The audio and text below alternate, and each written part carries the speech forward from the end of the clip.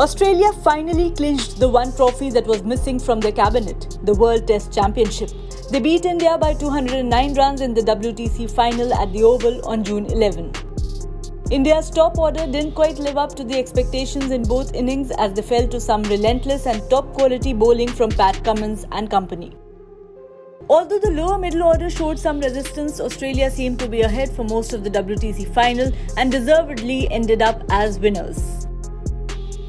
On that note, let's look at the moments from the WTC final that created buzz on social media. Cameron Green's amazing catch to dismiss Ajinkya Rahane.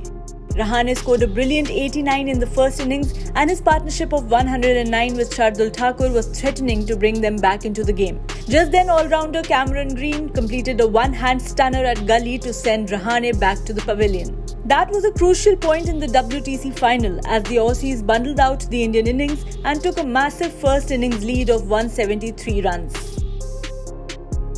Marnus Labuschagne caught taking a nap.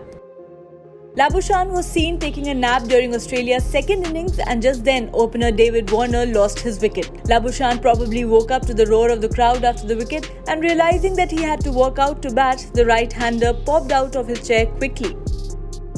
Shubman Gill's controversial dismissal. Arguably the most controversial decision of the WTC final was when Indian opener Shubman Gill was adjudged out in the slip cordon by the third umpire in the second innings. Gill edged one into the cordon where Cameron Green dived brilliantly to his left and claimed a catch. The third umpire took a look at the replays available and claimed that the fielder had his fingers underneath the ball as he took the catch. However, many fans were furious about the decision as they claimed that the ball had touched the grass as well.